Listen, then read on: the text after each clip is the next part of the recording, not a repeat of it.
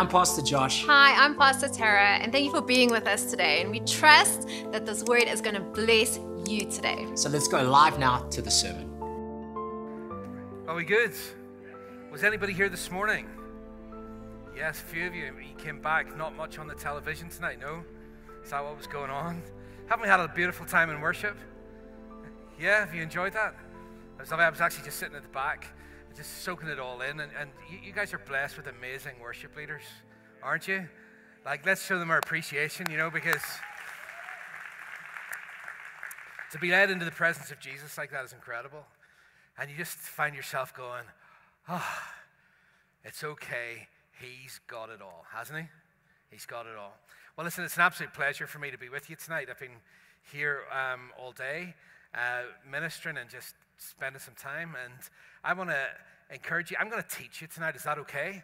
Now, I know on Sunday nights what we like to do is we like to kind of kick back, relax, just go. Probably in your head, you might be thinking, hoping this guy doesn't speak for too long because, I don't know, You've got better things to do, okay? But let me tell you something when you're in the presence of the Lord and we open His Word, it always makes a deposit in you that will bring about good fruit.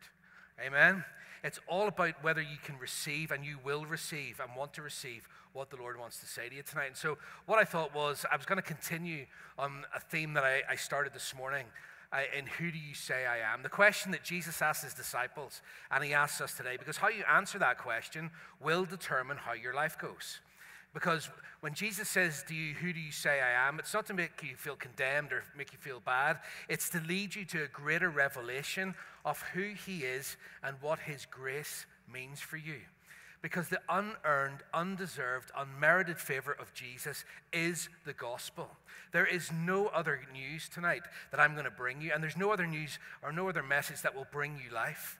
It is only the grace of God, the finished work of Jesus, that makes any difference. And in the word, it says in John 20, verse 31, this is the signature verse for, for the book that I've written. It says, These things are written that you might believe uh, that Jesus is the Messiah, the Son of God and that by believing you may have life in his name. And what I said this morning was if you want to have life in every bit of your, your existence, every bit of your life, then it begins, starts, and ends with a revelation of Jesus and his love and his grace for you. And so your job is not to try to fill your head full of information and stuff, but to let your heart expand with an understanding of who Jesus is. Because it leads you, as we've been singing tonight, it leads us to rest.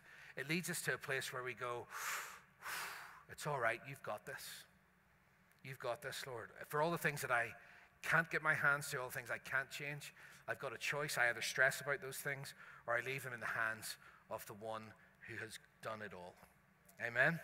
And so tonight, that's what we're going to talk about. I um, I have a two teen, I have three kids.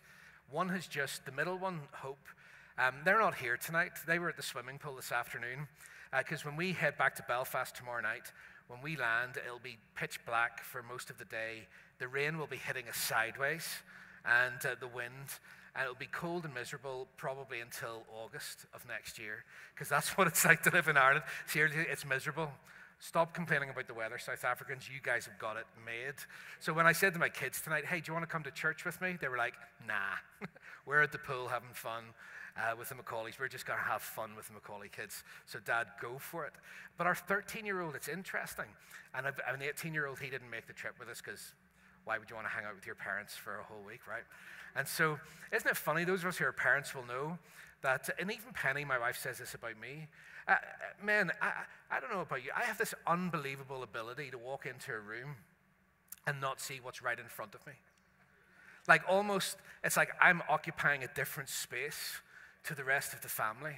And so, what invariably that looks like is I, I lose two things regularly. And uh, with teenagers, it's the same, isn't it? You go, uh, Have you seen my? Mom, where is my? And mum is like magic because she just appears from nowhere with it in her hand.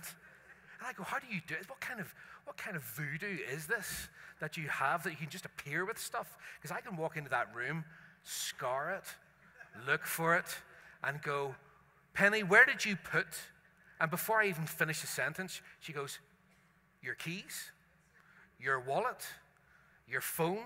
I mean, it's, it's going to be all the same things. And I go, how do, how do I miss what's right in front of me? But yet I do it every day. Isn't that right? Men, particularly? And my wife is continually cracking up with me, going, Honestly, Andrew, open your eyes. And I go, My eyes are open. I just don't see what you see. and after, we've been married for 26 years, would you believe? Uh, yeah, isn't that amazing?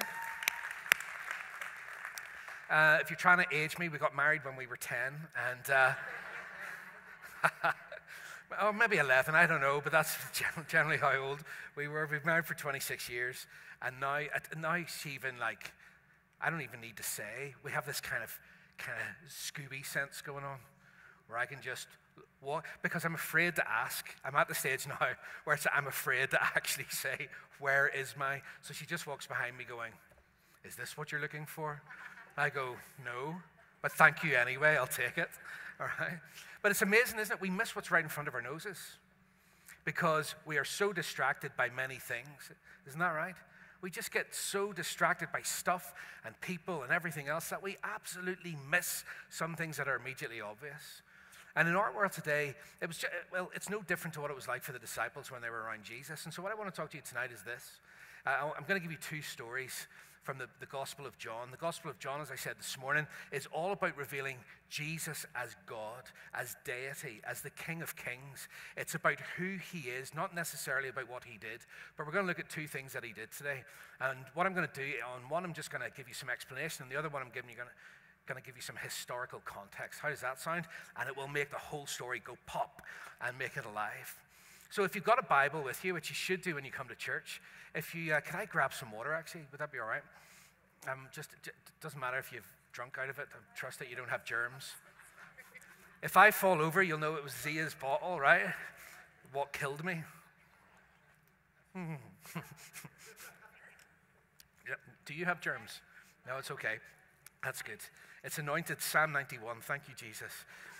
do, you know, do you know what's funny? It's not about you. I, I won't even drink out of a can that my wife's drunk out of. You know, I'm just that fussy. I just go, oh no, I'm not going to do that. Ooh. Now, here's the thing, all right? In John chapter 2, we start to get into the word, and Jesus performs what you might have heard is called his first miracle. And it's the story of the wedding at Cana in John 2. Now, we all know the story, don't we? There's a party going on, and Jesus has been invited to it. And they run into a problem. And the problem is that the hosts have run out of wine. Now, I don't know in South Africa how that plays, but in Belfast, that is a total disaster. Okay? One thing you don't want to do is run out of Guinness or wine. And what happens is, we read in this story that Jesus performs actually what we have been told is called a miracle, but the actual word means it's a sign. Now, whenever something happens for the first time in the Bible, sometimes it's called the law of first mention. Now, this is not particularly a law of first mention, but it's the first time that Jesus performs something.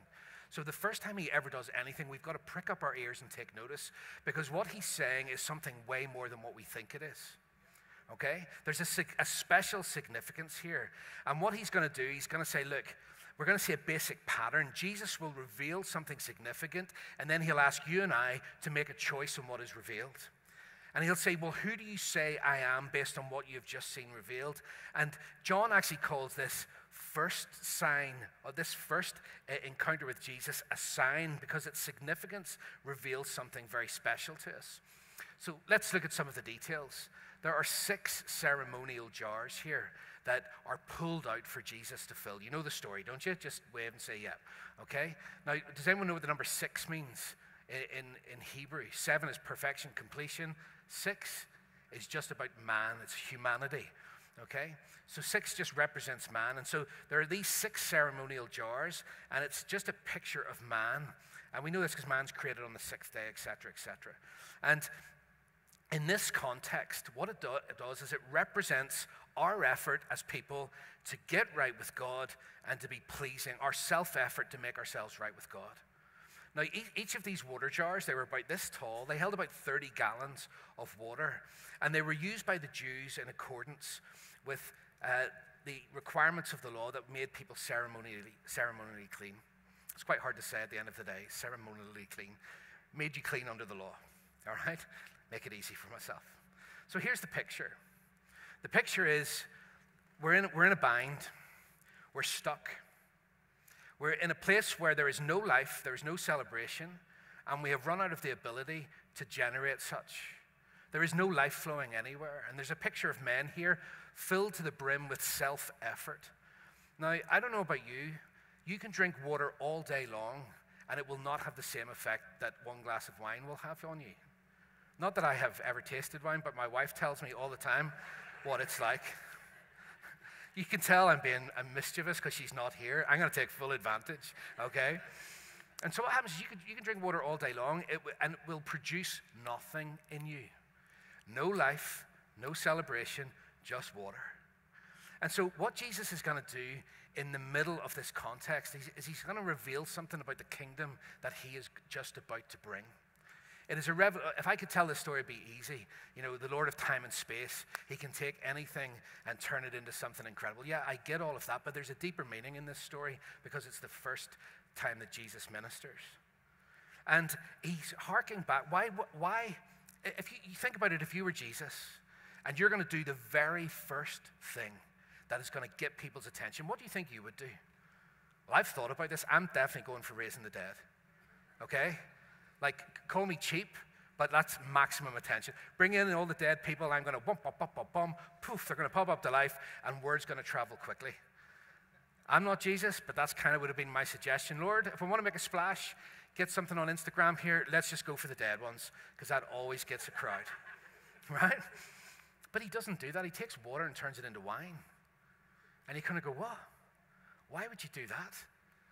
Well, it was in this context, Pastor. He was in, in a wedding. It wasn't. Do you know that the people at the time longed for life and freedom?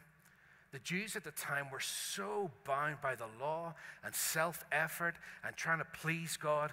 They were under the, the oppression of the Romans, but they were also under a religious system that broke their backs. And the whole weight and tenet of Jewish history was to send the Messiah because we want to be free. And so, one of the things that they understood, going all the way back to Isaiah chapter 25, let me read you the verse. On this mountain, the Lord Almighty will prepare a feast of rich food for all peoples. Now, listen to this a banquet of aged wine, the best meats, and the finest of wine.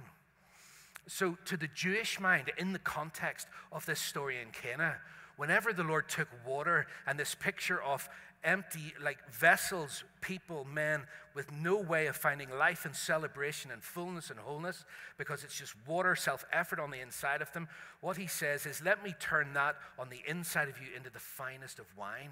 And straight away, we don't get it, but the Jews would have got it. They would have gone, hold on. The Messiah's kingdom, one of the signs of the kingdom of the Messiah who would come and lead us into freedom, would be it would be marked by the finest of wine. And so what happens here is that, like, the, the, it would be a generous kingdom.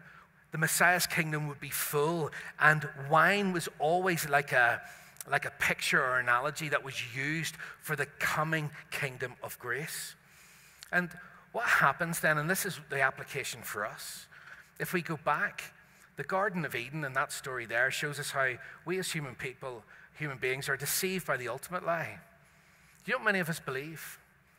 Many of us believe that God is holding out on us, don't we? Like, let's get honest at times. We see people around us get blessed and we go, that's brilliant, but Lord, what about me? Why is it happening for them? God, why are you holding out? Why have I not seen my breakthrough? Why have I not seen the fulfillment of the promise? What's wrong with me, Lord? Why are you holding out on me? Why are you not giving me all that I need to flourish? You know, you could call this what the world calls this what's called a scarcity mindset. And a scarcity mindset focuses on what we don't have instead of what's been given to us. And in the, the biblical story, when humanity operates out of a distrustful scarcity, scarcity mindset, we begin to justify entirely selfish behavior. Do you know why you act selfishly at times? Because your revelation of Jesus and his generosity is too small. And we think that if God is blessing somebody else, there's not enough for him to bless me at times. And so, what the Lord is, is trying to say in this story, right? I mean, his response actually to our own history of selfishness is not to condemn us, but in a reversal of expectations, he decides to give us the most generous gift, and that's the gift of Jesus. I want to say tonight if you find it hard to let go and you act selfishly at times, it's because your revelation of the Lord is too small. When we do not see that every need is met in the work of grace, then the only other option we have is to take responsibility onto our own shoulders. And then life becomes very tough. That includes your own comfort, what you think will make you feel better about yourself and your life. And actually, this is the point where we fall from grace back to the demands of a performance faith that just results in a cycle of defeat and failure. And what happens is the Lord goes, Listen, the first thing I'm going to show you, and everything else, this is the point why a generous, overflowing, abundant announcement of the kingdom. Because what he's saying is this many of us believe that God holds out and he holds back. But whatever the area is, when Jesus is in, is in charge, when Jesus brings his kingdom, everything about it will be abundant and overflowing. Everything about it. He will not hold back from you. He doesn't hold back in any way from you. And what he's saying is not just about water to wine and all that sort of stuff. He's saying in every need that you have, it will be an overabundant, overflowing flow of grace to you in your life. Do you get that? And he's trying to raise the expectation of the people that whatever their need will be, it's going to be way more than what they first thought. And that cuts right to us today. Many of us have given up on the idea, I believe, that actually what this kingdom that we have been brought into, the kingdom of Jesus and his grace, is an, is an overflowing, abundant kingdom. Whether it's for healing, provision, peace, security, protection, hope, or security, the Lord is not miserly. This is what he's saying. He's announcing into the, the, middle of people who are in need, whatever it is, I'm going to oversupply for you. In fact, let's just have a look at this. In Exodus 7, we read the story of the first public miracle of Moses, don't we? Uh, Pharaoh's heart is hard, and so Moses turns the river Nile into blood, and many people die. But when we contrast that with Cana, we see that the new covenant of grace is so much different. Jesus turns this water into wine, and if you're wondering how much it was, it was about 840 bottles of wine. That's quite a lot. That's like half the size of Pastor Alan's cellar. You know what I mean? Like we're talking, we're talking. So he tells me he, we're talking a lot. Now, do, do you think do, sometimes when you look at that, there is no way that they were going to need 840 balls. Isn't that right? I don't know. I've been to a few parties in my time, good Christian parties where you drink Coca-Cola and eat peanuts, right? But I've heard about these other parties where people drink a lot. But they don't drink 840 bottles in a setting. Do you know what we would do? We would go, that's terribly wasteful. Why would he do that? How many, how many people are at this wedding? Give me a list. Oh, we've got you two, four, a couple of glasses, a couple of glasses. You've had a couple, so you're getting one. Okay, I tell you what, we need 37 bottles, and that'll keep the party going. And the Lord goes, What? Just take all of that, turn it into the finest aged wine, and in a moment, right? What we see as wasteful, or the world would see as wasteful and extravagant, the Lord is trying to say to you, you know, in a moment, in this kingdom, I will oversupply and it will never run out. Run out. What the world says is wasteful, I say is provision because of my heart of grace for you. Isn't that amazing? And the people would have been incredibly surprised. Enough for the party and enough left over. Enough to go on and keep the thing running for as long as they could ever hope for. I'm trying to tell you tonight, church, when it comes to Jesus, there are no half measures. Not only can the guests celebrate here at Cana, but there's no longer embarrassment for the host. His honor is preserved. And Jesus does this because he cares. He just doesn't want to meet our physical needs, but he knows what matters to us, and he will never see us put to shame. And that is the story of Cana.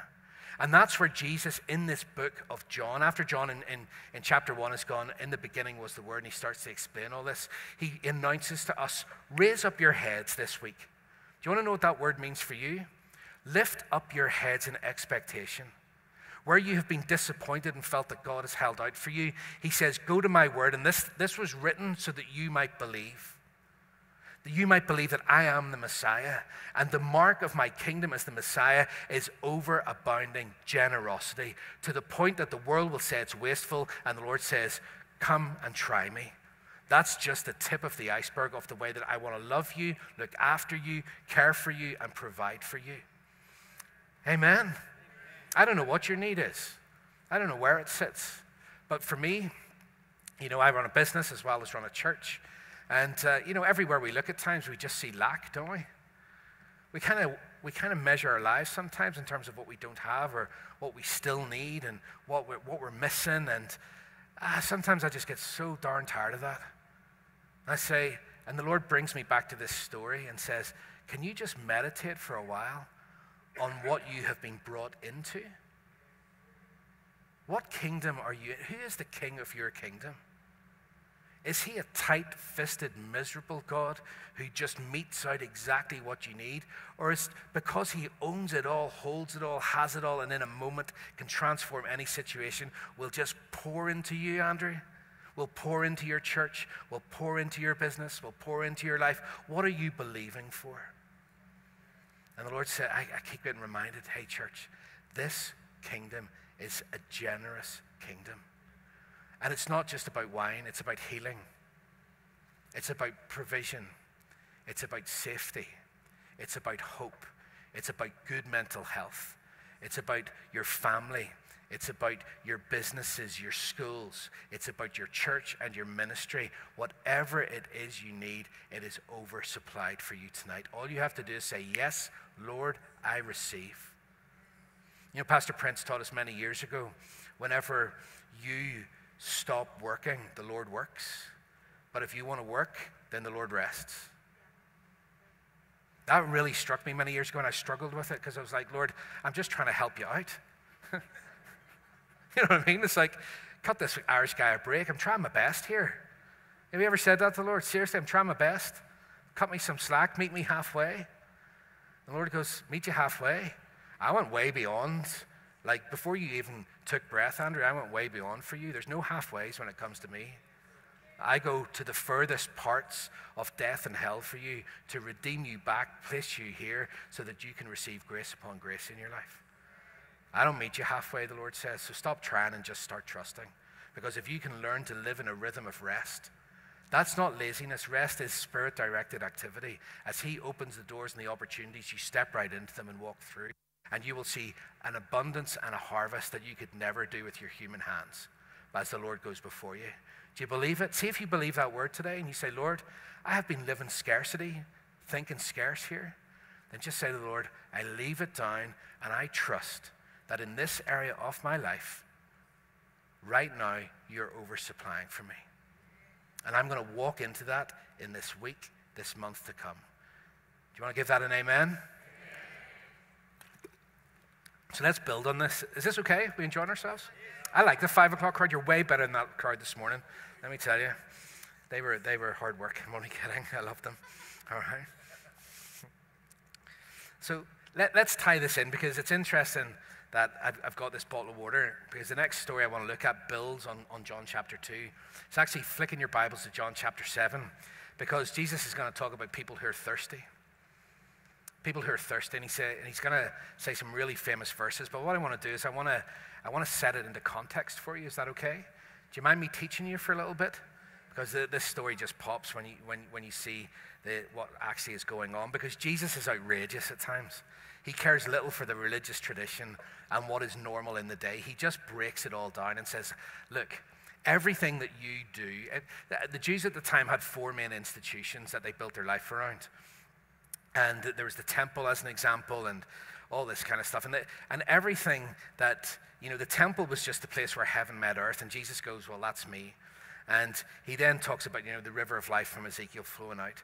Uh, he meets the teacher of Israel and he describes to, to, Nicodemus about how he is, you know, has to be born from above water and spirit. So what Jesus does is he basically dismantles all the things that, that religious people build their life around all their traditions, all the, the stuff that, and he just goes, It's all about me.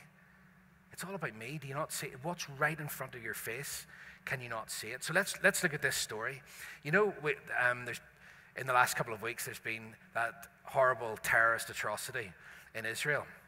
And it happened on the 7th of October. Well, it, it, that was not by, um, and we pray for Israel, and we pray for those people who've, who've suffered and, and, and suffered loss. But it wasn't by accident that the, the date of the 7th was chosen. Because the fest, there was a festival that finished on the 6th of October this year, and it was called the Festival of Sukkot, or the Festival of Booths. And it was a, it's a national holiday. And in John chapter 7, they were celebrating the same holiday. And Jesus talks about if you're thirsty, come to me. So on, on Shabbat, a couple of weeks ago, on the 6th, the, the festival actually finished. And what happens is this festival of Sukkot occurs after harvest. Now, listen to me. And, it, and, and it's after the harvest has been completed and the, before the beginning of a new agricultural year.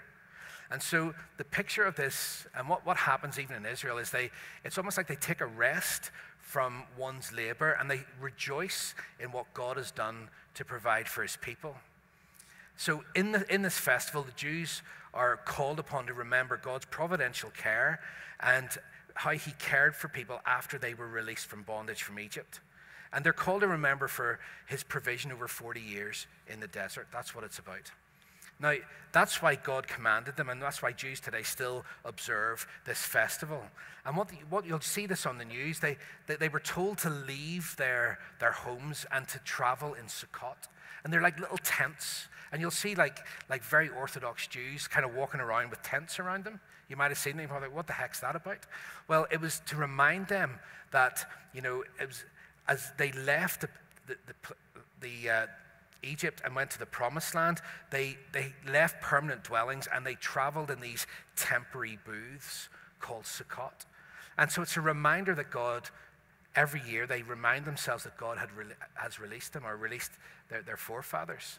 And so God instituted Sukkot as a reminder that dependence upon Him was not something that ended when they entered the promised land, when it was reached. Even after a good harvest, they had to remember year after year that it was just temporary and they had to ultimately re- rely on God to provide. And so it's in this context that Jesus says something to you and me that will change your life. It will absolutely change your life. Do you want to read about it? It's amazing. Turn to John chapter 7 with me. Because what we do is we see in the, in the middle of this incredibly important festival, Jesus drops the biggest bombshell. I mean, he tears the place up and he causes an absolute riot. Now, the priests had many duties each day. So on the first morning of Sukkot, what they would do is they would there would be a procession of priests, and they would all go down to the pool of Siloam. You've heard of that? Where, okay, so the pool of Siloam is where people got healed and stuff like that. And they would bring up to the temple a golden container of water that was sufficient to last throughout the full seven days of the feast. Now, there's not a detail wasted. It's in John chapter 7, verse 37, it says this There was on the last day of the feast, the great day. Now, there's not one detail wasted in the word. Let me tell you what this means for you. This was the climax of the festival, and it was called the libation or the water pouring ceremony. And it all took place in the temple square, about a quarter of a mile by a quarter of a mile, and it would have been rammed with people absolutely chock a block with people, just a quarter of a mile square. Take that as an analogy, if you like, for the crowd today, for people today. Now, the priests, like I said, they go down to the pool of Siloam, they fill up with water in this big golden, golden uh, uh, jug, and as they're, they're walking, they sing the words of the Hallel Psalms. That's Psalm 113 through to Psalm 118. And the words of that are Blessed is he who comes in the name of the Lord. That's the, so what they have is they're blessed is he who comes in the name of the Lord. They're, they're, crying out for the Messiah. And that scripture is called the welcoming cry of the Messiah from Psalm 118. And so what the crowd, it's what the crowd are going to sing one week later when Jesus comes into Jerusalem in John 12, 13. But I'll come back to that. So they're singing the words of this prayer Blessed is he who comes in the name of the Lord. And at the same time, the priest would mutter, Send the rain, send the rain send the rain because under the law, even though they had been blessed for a year, they had no guarantee for their future. So as they're drawing water, they're still saying, Send the rain, Lord. Don't forget us, send the rain. They were just wanting deliverance. So a few things are going on here. They're thanking God for delivering them. They're thanking God for their harvest. Uh, and harvest, as you know, is a metaphor for redemption and a foreshadow of the ultimate redemption of Jesus. And at the same time, they're believing that for their future because rain was life, and with no rain, they would be dead. But there's also something deeply spiritual going on, and this is where Jesus is going to speak to us tonight. Let me explain it to you. What happened as they, as they walked along, going, God, send the rain? It's like what you and I do. Like, will you send the rain? Will you please make sure that I don't do without? Will you please make sure that I have enough? Like I'm drawing here, but I'm still not sure that it's enough. Do you get that? Because even though I might have some life in my hands, I'm, my heart is not convinced that how you blessed me yesterday might carry on to tomorrow. Do you get that? Do you ever feel like that? And so, even in the process, they're saying, Oh, just don't forget us, Lord. Don't forget me. Just send, send some rain for me. And what happens is this the priest on duty, now, this is, this is awesome. He pours the contents of two big redemption bowls, okay? They're made of silver and he pours the water. One, one would, would hold the water, and the other would hold wine. And as they poured out the water, it was an, an expression of dependence upon God. Please send rain. And so, what you have is two bowls of redemption one with the blessing of God, water, and one with red wine. What's it a picture of? It's a picture of Jesus. Where else do we see this happen? Water and, and, and wine red being poured out. It's on Jesus' side at the cross.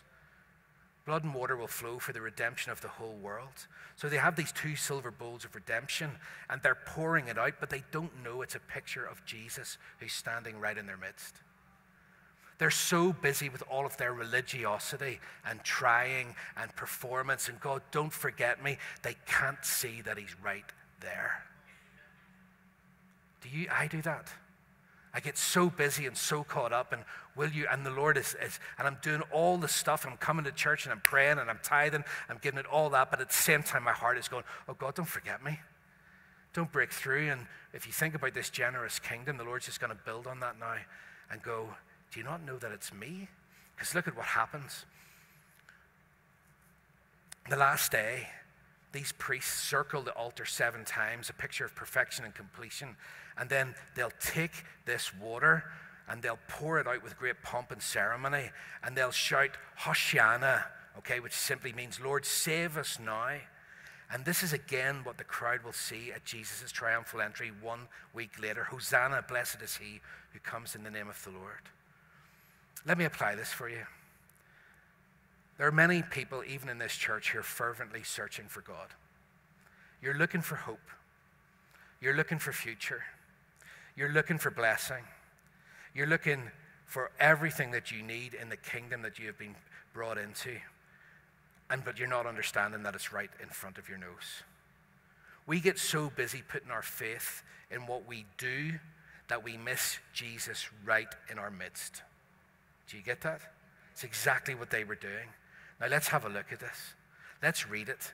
On the last day of the feast, John 7:37, the great day, Jesus stood up and cried out, if anyone thirsts, let him come to me and drink. You see, they're pouring everything out. They're trying all their hard work. They're just, you know, missing the hope, but they're just so fervent about it. And God, will you do? And He says, You're thirsty, aren't you?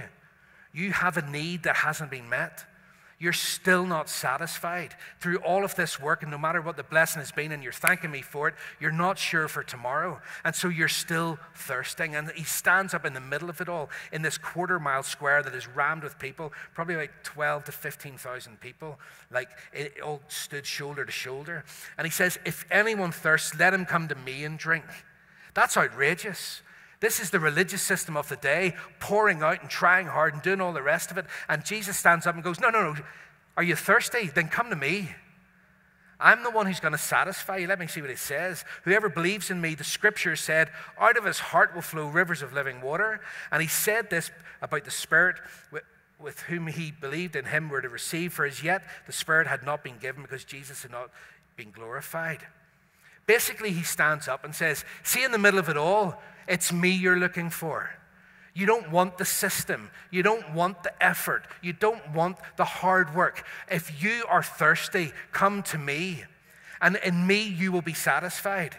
I'm what you need. It all comes from me. There's no other source. It's not your education. It's not your qualification. It's not your, your bank balance. It's not your family, your reputation, your effort, or anything else. All of that will exhaust you and leave you thirsty. And this picture is amazing of religion and the law and self effort and performance going on all around us all the time, in us, around us, part of us. And Jesus is standing in the middle of your life tonight going, See all your effort. It's all about me anyway. Will you just come to me instead of going through all the pomp and circumstance, and then you will be satisfied? Do you know why? Because when I come to you, my kingdom is a generous kingdom. My kingdom is an overflowing kingdom. My kingdom is one which never ends, which never fails, which never runs out. Whatever your need is, I have supplied it X times more than you will ever be able to fathom. So it is me. Come to me. But you know what many of us do? We go on it in a million. We get caught up in the pomp of it all. I'm doing this, Pastor. I'm doing that. I'm trying that. I'm helping, helping Jesus out here. And he says, Stop with that. It was all about me anyway. All of these are, this is all pictures of me. But if you just come to me, I'm, I'm right in front of you. Do you not see it? He does this with light as well when he says, I'm the light of the world. Completely wrecks another festival, right? That's brilliant. He just, Jesus just goes around wrecking people's expectations of things. And they're all, all busy for the Lord and all busy doing this. And he goes, It's all about me. You know, as these, I'm going to start in round up here. There was, they were looking to their future and they were saying, Send the rain. Lord, will you send the rain? Have you prayed that recently? Send your provision, Lord. Give me some hope, Lord. Give me some breakthrough, Lord. And what the Lord is saying is this you now live in the rain. There's a future aspect here to the Festival of Booths. The word that the Greeks used to translate tabernacled with us was a word that they had borrowed, actually. It was Shekinah, where God's glory and presence would dwell with them. And what happens now, this rain, this water of life, is actually God's presence with us now. And it's flowing freely to you right now because you're loved. It's because of his gift of grace, completely unearned, undeserved, unmerited, flowing over you right now. And, and Jesus says this My flow over your life never stops. The question is, will you drink from me first? You have a choice here tonight. You can go out into your world tomorrow with everything that you've got to face, with everything that's going on for you. And you can either go, Lord, I hear what you're saying, but I'm going to take a whack at this, and if I get stuck, I'll let you know. That's kind of colloquial language, isn't it? Only when we hit the roadblocks and the limitations do we turn. But the Lord says, remind yourself tonight, as you start this week, that this, your position today, is in a place of abundance. And you say, but Pastor, I don't see it. Well, why don't we stop trying to help the Lord with that which He's already provided and start to live in faith for righteousness and trust that all things will flow? I said it this morning. Using faith for things is absolutely the, as Pastor Prince taught us many years ago, it's the, the least use of your faith. You don't need faith for things, you need faith for righteousness. Because you know when the enemy comes to you, he will attack you and cause you to doubt in the goodness of God. That's it. He can't take anything from you, he doesn't have the power to do it. But what he can do, he'll come to you like he did way back in the garden and say, Did God really say? Did God really say he would provide? Did God really say he would heal? Did God really say? And he just starts to undermine and we fall for it all the time. But his, his methods have never changed because he's not a creative being. He's one that usurps and takes and twists. And so when the promise of God comes, right, I'll tell you where your battle's going to be tomorrow morning. Did he really mean that? Did God really say that? And I want to encourage you to go to the word because it was written that you might believe that he is the Messiah. And in believing, you will have life. Let me tell you something when God moves that way in your life, it, undoubtedly, undoubtedly, things are different. Let me leave you with this one verse. I started to meditate on this and I thought, I have lived so much of my life thirsty. Going around the same flipping mountain time and time again, going, when will I learn? Walking in, like, like I said, like my wife going, it's right in front of you. Just open your eyes to see it. Open your eyes to see that Jesus is right in front of you. And he's there saying, Have a look at what this kingdom is like. It's fully generous, it's full. Jeremiah 17, let me finish with this. Says this This is what it's like to live with the water of life flowing in you. Blessed is the man who trusts in the Lord, whose trust is in the Lord. He's like a tree planted by water that sends out roots by the stream and does not fear when the heat comes. For its leaves remain green, and it's not anxious in the year of doubt, for it does not cease to bear fruit. Isn't that beautiful? Do you know, I'm just going to finish with this if I can. Do you know when the Lord writes things like that? Do you know that faith, faith in you, is related to the power of your imagination? Oh, I wish I could teach this. In the Bible, Jesus, the way we're designed is that the Lord paints things in pictures so that we can see it. And that's what causes faith to rise. That's why we have these analogies. That even in a year of doubt, I'll remain green. Green is a Ranan in Hebrew, the word green in Hebrew, Ranan was the first press of the olive that was used to anoint the kings. It's a picture of grace, right? And so when it says the leaves remain green, it's not just they're, they're nice and flowery. What it means is that, like, even in drought, you will remain full of grace, anointed by Jesus. And that will cause you, what does it say? Ranan will be, you will not cease to bear fruit. That's the word of God for you. So, what, why does the Lord paint that picture for you? Because as you start to imagine it and you start to picture it, close your eyes for me right now. You say, Pastor, we don't do this, we don't picture stuff. Well, you do picture stuff all day long, it's just normally negative. This is going to go wrong, that's going to go wrong. And the Lord says you're going to be like a tree planted by water, your roots going down deep, receiving grace and never ceasing to bear fruit. You'll stop being thirsty. I pray that over everyone in this place tonight. I pray that you would see yourself as that tree planted deep tonight. Deep roots going into the generous heart of God, into the generous kingdom of God. I pray over every home, over every individual, over every child and business. I speak fruitfulness over you. I speak increase over you. I speak this week that you would be surprised by the grace and the glory of God as you stop from the effort and the work, the self promotion, the hustle. And Jesus says, Stop and come to me because this kingdom is a generous kingdom. You will be oversupplied as you draw from me. You will see your thirst satisfied. We don't need to say, Lord, send the rain. You're living in the rain of God's blessing pouring out on you every day. And it's the heart of faith tonight that reaches and says, Yes, Lord, I receive this word.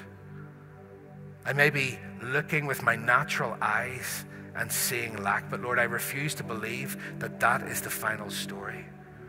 Let your declaration of faith tonight be, Lord, even though I can't see it, I believe that you're working. Even though I can't feel it, my feelings are not the truth. Your word is the truth. And your word was written so that I might believe, and that in believing I would have life. Turn your heart and your attention to the one who's in your, in your midst every day. Lift up your eyes and look into his tonight. Into that beautiful gaze of grace, to be held in that grasp of grace as he ministers into your heart right now. Whatever it is, I've oversupplied. Believe and rest, and you will see that good fruit. Jesus, let that word settle over your church tonight.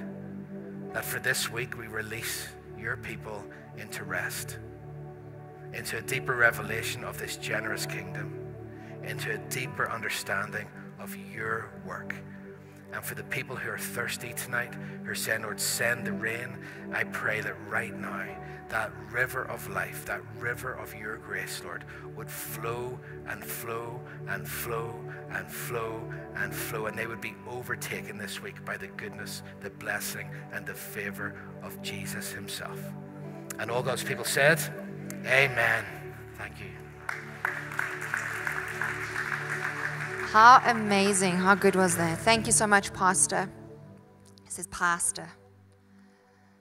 That was such a good teaching, such a good word, right? Amen. I want us to stay in that atmosphere, and I'm just going to ask that you guys just all, all of us in the room, just close our eyes. As we heard about this, these two miracles, two things that Jesus did in the book of John.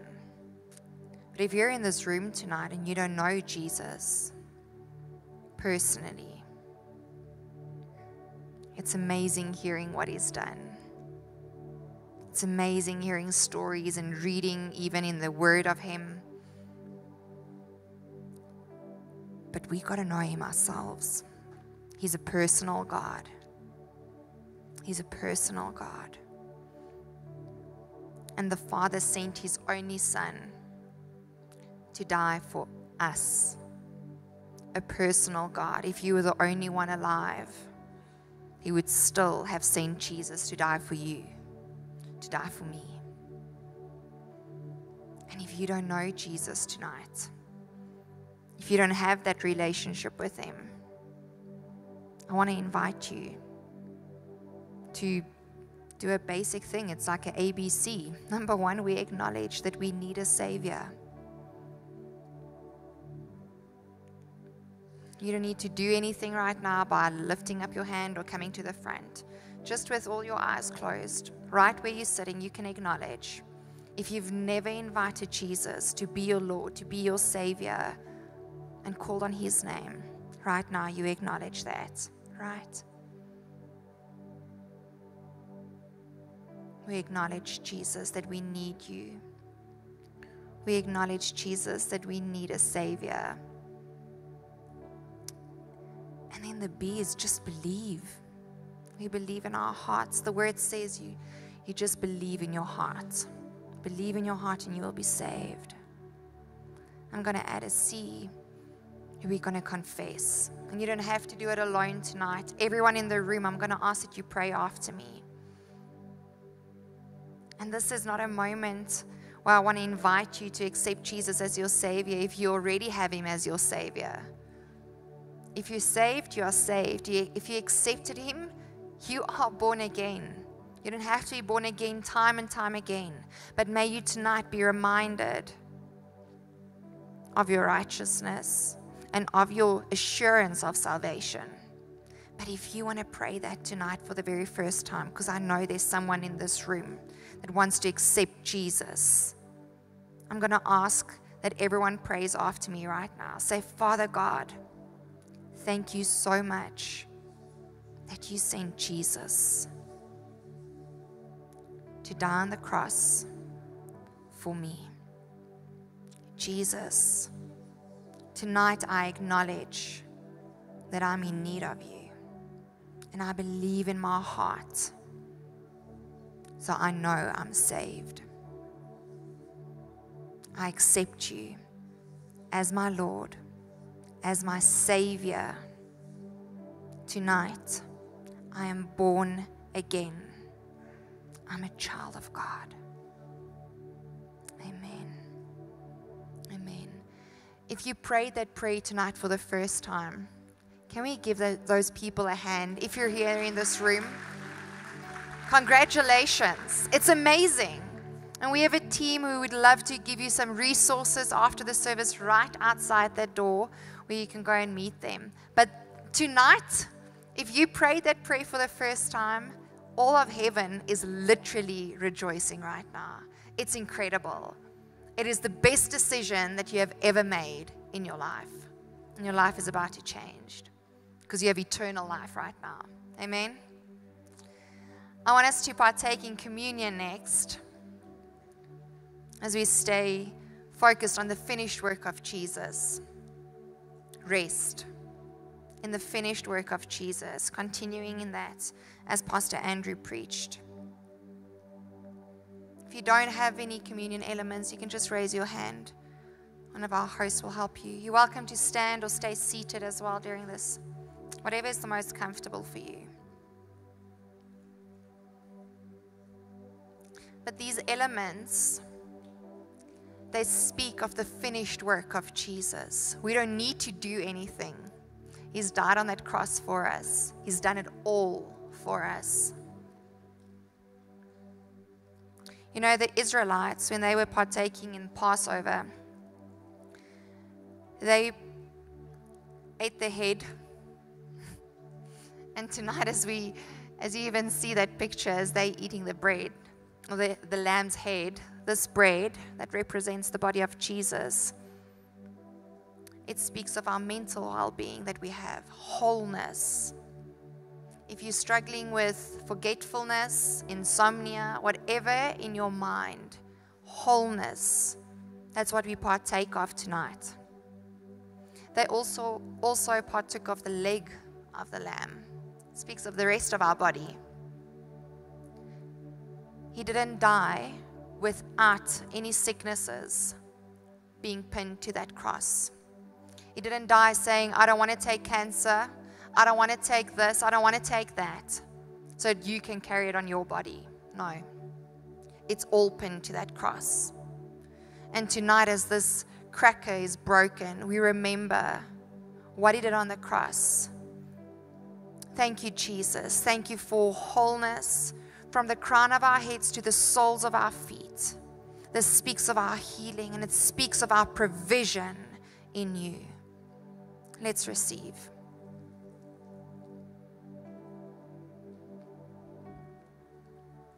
And this juice that represents the blood of the Lamb. It's the blood of the Lamb that was shed for us. Speaks of our righteousness and our forgiveness. It washed us white as snow the moment we accepted Jesus as our Lord and as our Savior. You need to keep on doing it. But you've got to keep on reminding yourself that you are righteous and that He took it all because we are so, it's so easy for us to take it on ourselves. Pastor Andrew spoke about it tonight.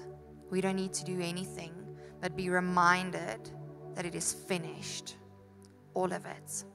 And when the Father looks at us, He sees us as white as snow, forgiven, righteous because of this blood.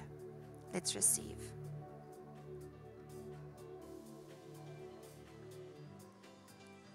Thank you Lord. Thank you for joining us today. We trust that the sermon blessed you. If it touched you, why not share it with someone? And if you want more words like this in future, why not subscribe to our page? Until then, we'll see you next time. See you next time.